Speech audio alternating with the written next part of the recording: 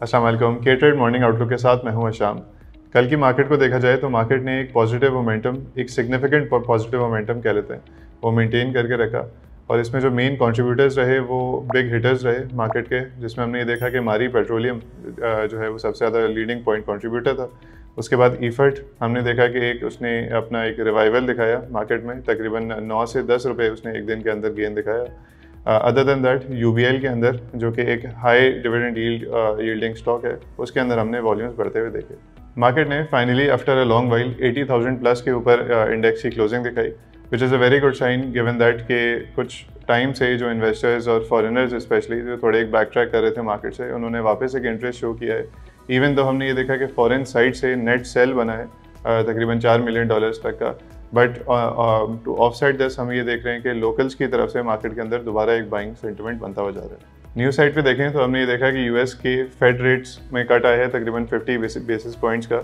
इससे ये एक चीज़ इंडिकेशन मिलती है कि जो इकोनॉमिक ईजिंग है, वो हम देख देख सकते हैं इन डेवलपिंग कंट्रीज़ अगस्त के करंट अकाउंट के नंबर्स आए, जिसमें हमने ये देखा कि 75 मिलियन डॉलर से सरप्लस हुआ है।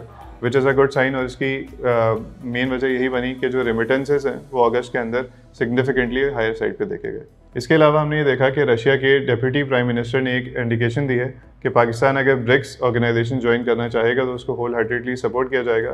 प्रीवियसली हमने ये देखा था कि पाकिस्तान ने एक इंडिकेशन शो की थी, या एक प्रपोजल शो किया था कि वो ये ऑर्गेनाइजेशन ज्वाइन करना चाहता है to join the emerging markets आज की मार्केट को देखा जाए तो सिमिलर ही सेंटिमेंट नज़र आ रहा है मार्केट में।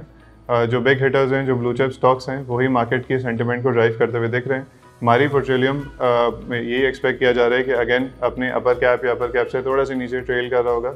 गिवन दैट कि एक तो बहुत हद, काफ़ी हद तक डिस्काउंट हो गया है प्लस जो कंपनी के फंडामेंटल्स हैं, वो भी काफ़ी अच्छे हैं। उसके जो शेयर की जो शेयर का जो पॉजिटिव मोमेंटम है, उसको काफ़ी हद तक सपोर्ट कर रहे हैं। इसके अलावा कुछ सेक्टर्स हैं जिनको कंसिडर किया जा सकता है, जिसमें सीमेंट्स एंड स्टील्स आ जाते हैं स्पेशली और इसका रीज़न यही है कि जिस तरीके से पॉलिसी रेट के अंदर एडजस्टमेंट हुई थी, और हमने ये देखा कि बहुत ज़्यादा तो इसकी तरफ़ एक सिग्निफिकेंट मोमेंटम नहीं बना इन सिक्लिकल स्टॉक्स में बट स्टिल इनके अंदर एक पोटेंशियल नज़र आ रहा है और एक शॉर्ट टर्म ट्रेड इनमें बनाई जा सकती है। Thank you